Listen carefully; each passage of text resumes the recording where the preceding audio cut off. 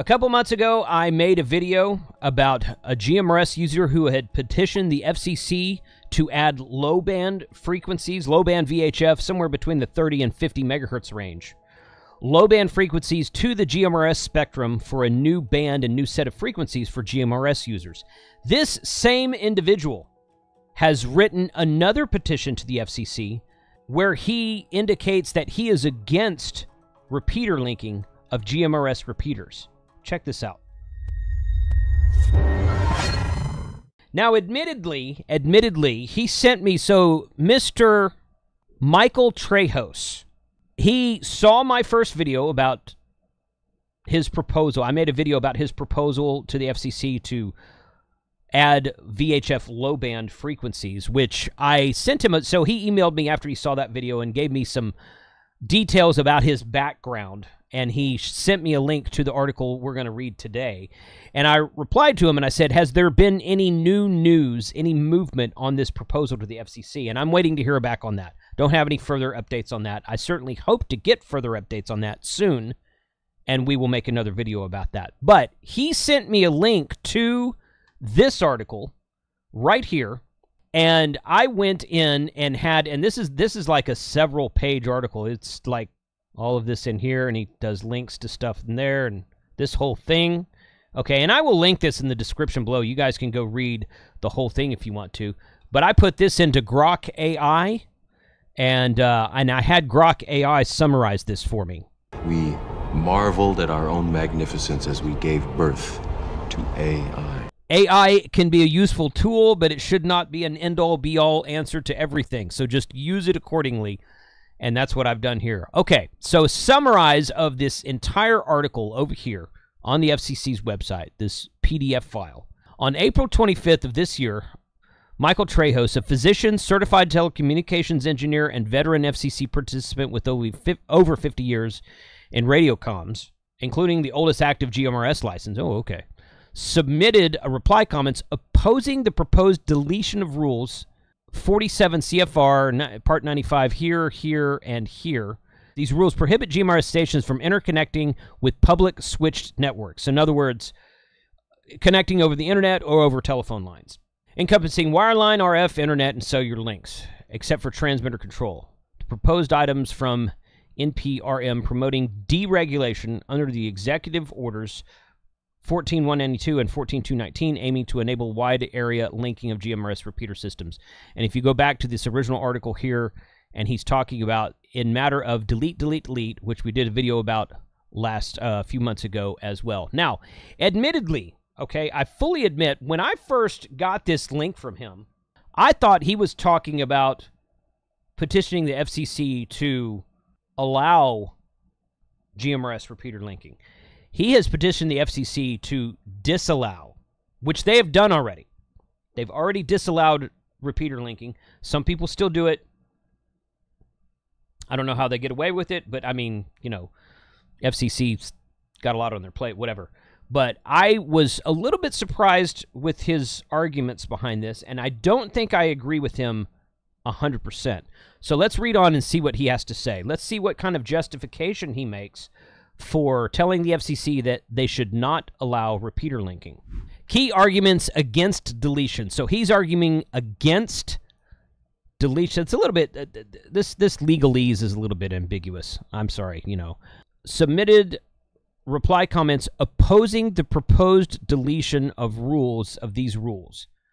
Okay, so someone has proposed to delete the rules that prevent GMRS repeaters linking and he is opposing that proposal, is what this is, okay? Key arguments against deletion, okay? Trejo cited FCC proceedings starting with docket 20846, which banned GMRS PSTN interconnections beyond control links. Control links where you could connect your GMRS repeater to the internet and then control it somehow over the internet, maybe with an app on your phone or maybe through a web browser, something like that. Beyond control links, due to limited spectrum, only eight repeater channels, and risk of monopol- monopolization. This was reaffirmed in PR document blah blah blah blah blah, which updated terminology to PSN to explicitly bar voice transmissions via control links. So, in other words, if you want to control it over the internet via data and just change frequency, change PL tone, you know, reboot the system, whatever. Okay, fine, but not for voice transmissions. Spectrum scarcity and fair access. Allowing links would enable users to dominate channels, hindering shared use by some 367,000 GMRS licensees, echoing 1970s concerns from events like the 1977 React convention where auto patch repeaters blocked access. I'm not familiar with that. It was 50 years ago. I don't think it really, you know, I mean, it's it's a historical significance, but as far as today, I'm not sure how well that applies. Legal and economic risks. Interconnection would create a pseudo common carrier service, violating this section, enabling theft of service under 18, this section. This could allow one user to link systems for many others without individual subscriptions, defrauding carriers like defrauding carriers like Verizon, AT&T who have historically opposed such practices. Okay, I'm not sure what he's talking about where AT&T and Verizon would have problems with linked repeaters, but we do that in ham radio all the time. AllStar, Echolink, linked repeaters, no problem. There's no problem there. And I understand what he's saying about limited spectrum because GMRS only has eight separate frequencies for repeater use. They have 16 frequencies for simplex use, which uh, are shared with, with FRS users, and eight frequencies for repeater use, which all, actually those eight repeater frequencies are shared with the simplex frequencies as well. So I see where he's coming from here. However, however, if you are a repeater owner and you want to link your repeater to another repeater, I think you should be able to do it. And if you want to unlink, if it becomes too big of a system or someone gets on there and starts abusing it, you unlink your repeater. What's the problem? It's going to be on the repeater owner to keep control and maintain control of that. But that's true for every repeater owner everywhere. You should already be doing that. If you're going to spend your money to put a repeater in the air, you should be able to do what you want to with it. I I realize there's a lot more to it than just that, okay? But as a general rule, I pretty much support repeater linking in GMRS. And I don't really understand why they have I I understand his key points here. He's got one other key point that I'm going to get to here in a second. And then I'm going to read you the exact document. But I understand where he's coming from, but to me, that means his arguments seem to ride on the fact that repeater owners aren't managing their own repeaters correctly, which, if you're going to become a repeater owner, you need to be able to do that. So you need to be willing to do that, I should say.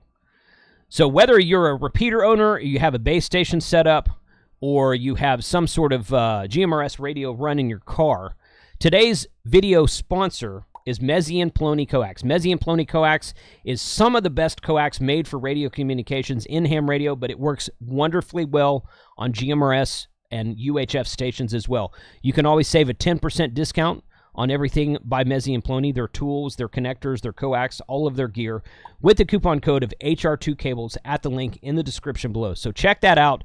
Check out Messi and Paoloni coax if you want to upgrade the coax on your GMRS station.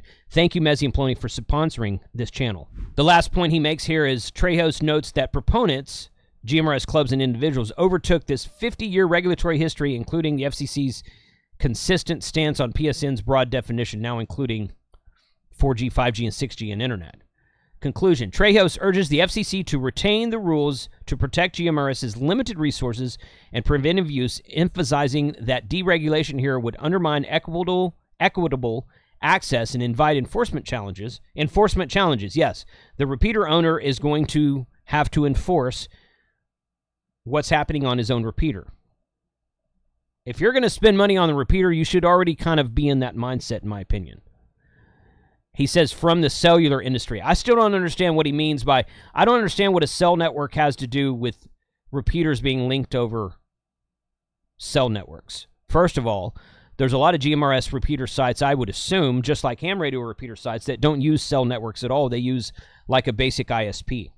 And some of them might use, some of them that are more remote might use cell sites, but how are we able to use AllStar and Echolink with no problems at all? Nothing again, nothing from the cellular industry at all in ham radio, but not in GMRS radio. He served copies to 28 stakeholders, including GMRS advocates, Verizon attorneys, and industries like the CTIA. Okay.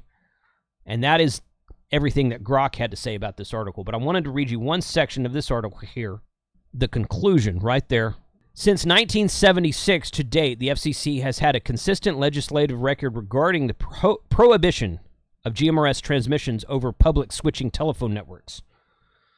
Since uh, 1976 in the docket 20846 and to present date, the Commission has made it absolutely clear that the term PSTN, now PSN, was to include wireline and non wireline radio frequency RF connection, which today has evolved into the internet and 4G.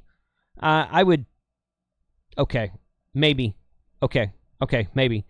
The common carrier cellular industry has been vehement throughout their history of preventing theft of service and their use of Title 18 USC 47, blah, blah, blah, to prosecute theft of service where applicable.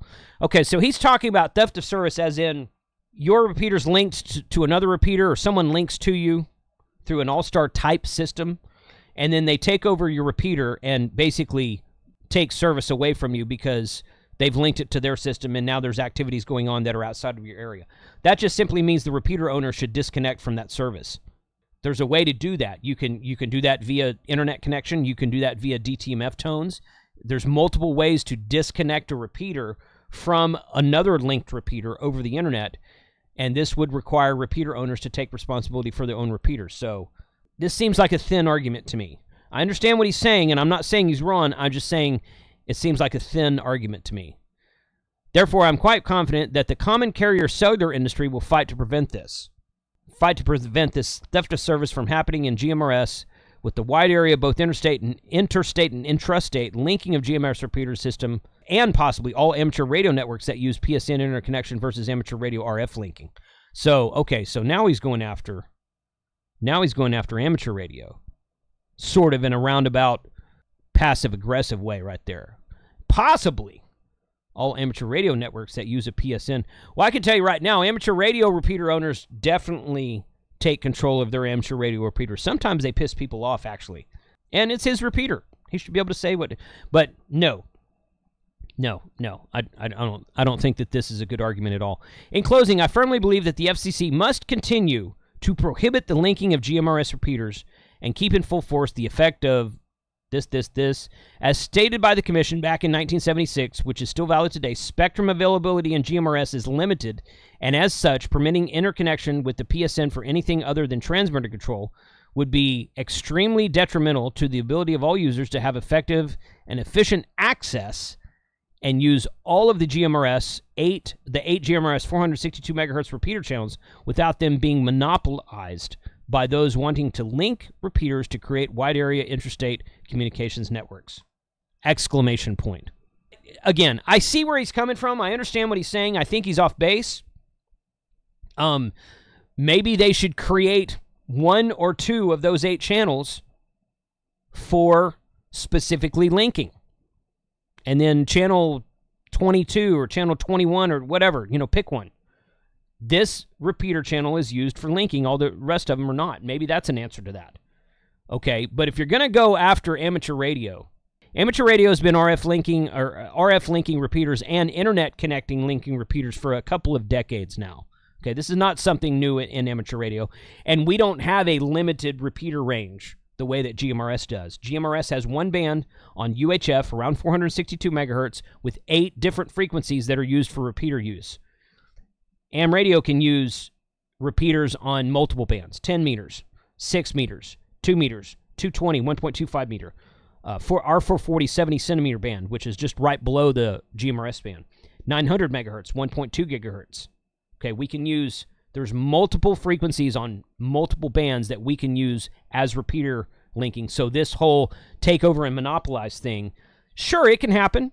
Sure, but you've got a hundred other places you could go if you have one repeater that's been taken over and monopolized by a rogue system or something like that. Also, if you know the DTMF tones that are standard in AllStarLink and HamVoIP, you can disconnect and connect repeaters at will, even if you don't own the repeater. I can drive up to any AllStar repeater right now and hit star three and the five digit code for another repeater somewhere else and connect it and then I can hit star one in that code again to disconnect it.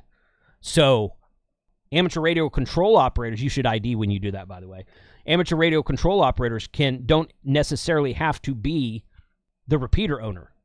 So we can we can already do that. I'm not sure exactly how it works. I never messed with actually linking and unlinking repeaters in GMRS. I don't own any GMRS repeaters, so I never really tried that myself. So I'm not sure exactly how that worked, but I, I assume it's probably a similar feature, some sort of DTMF tone that would disconnect and reconnect repeaters. So, what do you guys think about this? Are you in favor of the FCC telling us that we cannot link GMRS repeaters? Or do you think that's bogus and do you think repeater linking should be allowed? I tend to lean on the side of repeater linking should be allowed, and if they want to regulate it to one or two channels, then great. But I don't particularly like someone telling me what I can and can't do with a repeater that I spent money on. That's my stance. Let me know if you have a different stance in the comments below. And if you enjoyed this video, check out these videos over here where YouTube thinks you want to go next. 73.